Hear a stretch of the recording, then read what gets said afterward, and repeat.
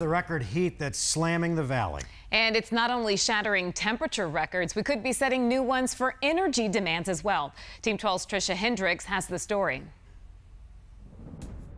As the temperatures rise, so does the energy use. This is the lifeblood of the economy. We need to make sure that we have enough power so people can live in the desert. After breaking long held energy records in June of 2017, APS is preparing for the hottest days of this year.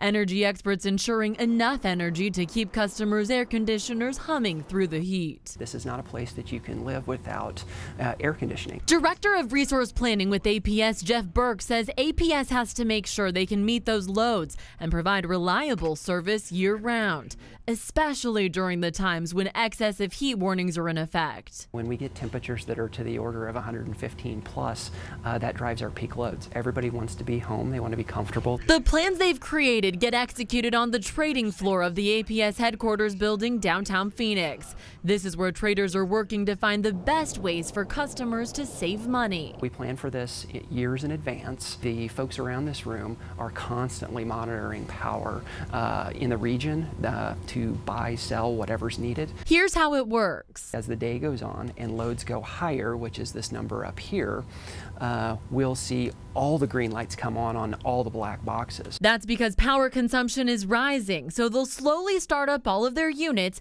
to make sure they can keep the lights on and, of course, your AC running. When it comes to this time of year, we want to make sure that people don't have to worry about their power. If we do break any energy records, these experts say they're prepared.